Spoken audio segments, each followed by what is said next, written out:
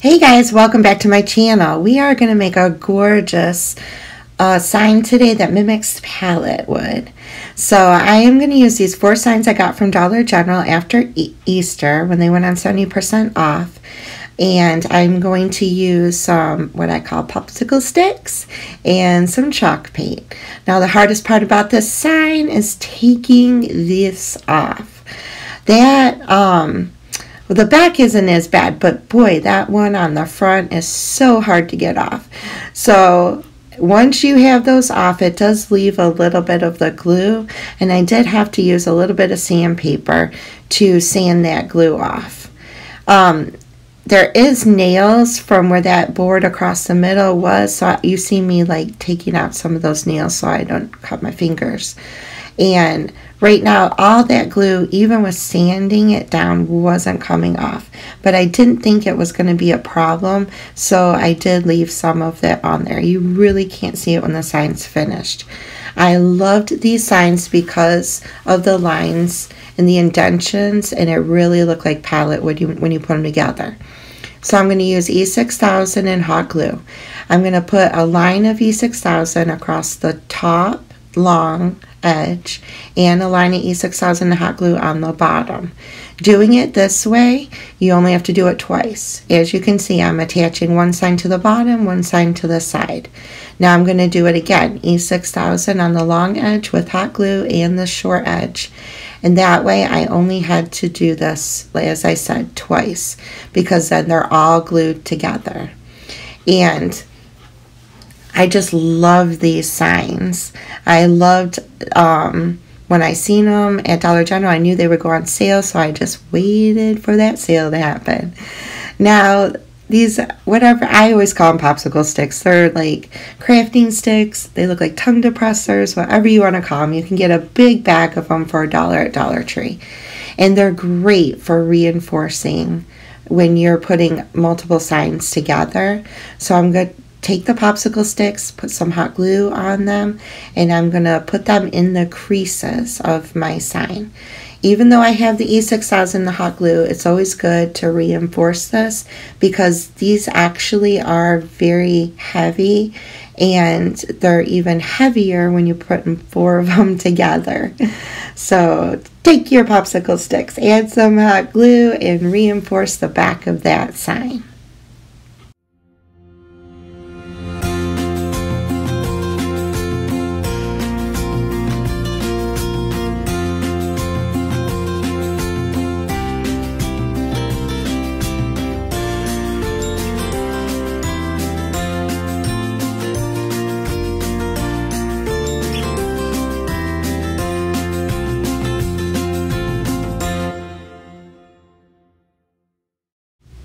All right, now that that is reinforced, we are going to flip it over and I'm using Waverly Cashew. This is the first time using this color. I love this color. I didn't want this to be totally white. And if you do, use Waverly White or use Folk Art in White. I just wanted a more creamy color. That's why I chose the cashew. So I'm going to give this a great coat of paint. I actually did it, I think, two coats of paint on this. And I know you can see where that, um, the glue is still on there, that's okay. Then after the next step, you're not going to be able to see it.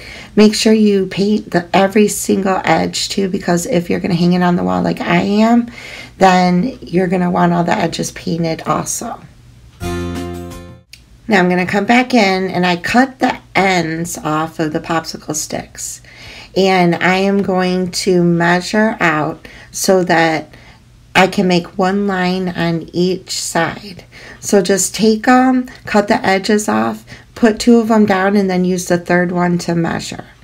I'm going to use this new penny paint um, to give this a kind of like a vintage, like rustic, rusted look. And I'm going to paint each one of my popsicle sticks. I'm painting the top and I'm painting all of the sides.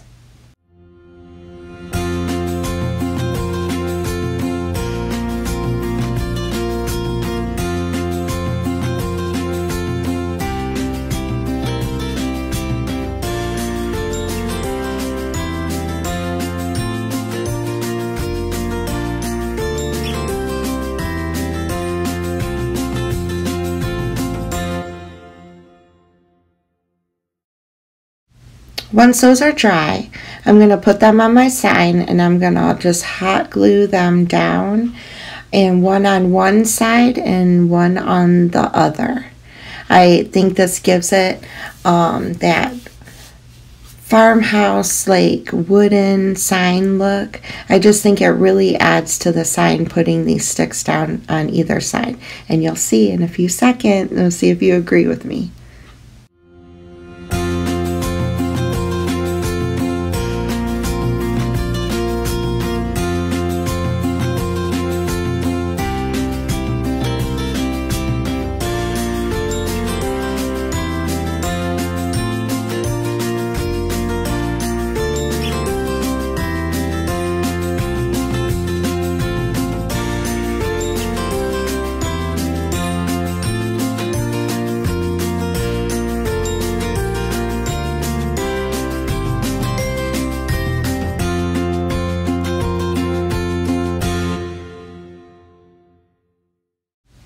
I love the way that looks, so I thought I would incorporate just a little bit of that new penny on the edges of the sign, and then coming in just a little bit throughout the sign to give that rusted look.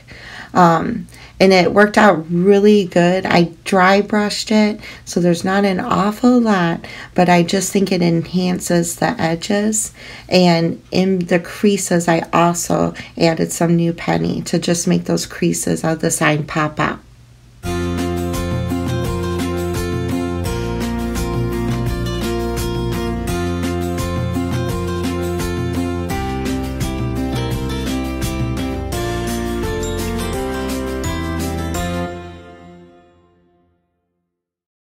Now I wanted the sign to have a saying, so with my cameo, I printed off a saying that start, says, Start each day with a grateful heart.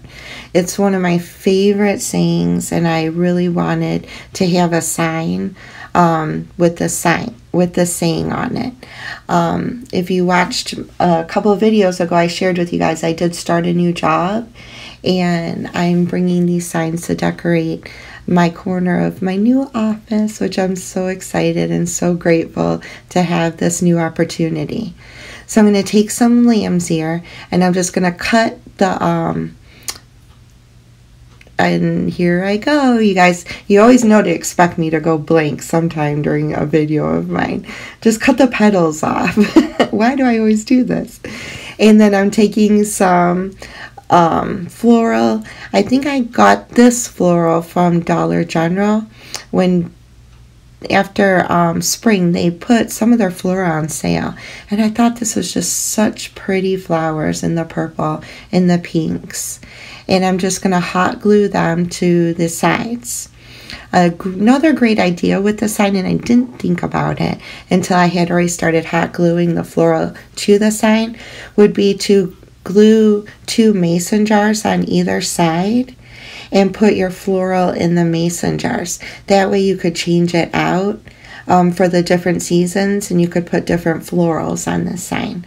I wish I would have done that, um, but it's so cute. And I really like how it turned out. I really like these flowers, even though they're more spring, summer, you know, looking flowers, it's okay. It's just going to be going in my office. So I'm just using an abundance of hot glue to get these flowers to stick. And then I'm going to take some twine because you know you always need a twine bow on every project. I just love twine bows. You can skip this if you want. You can use ribbon. You can make any kind of bow you want. So I just made a twine bow and I attached it to the bottom of each bundle of flowers that I had glued to my sign.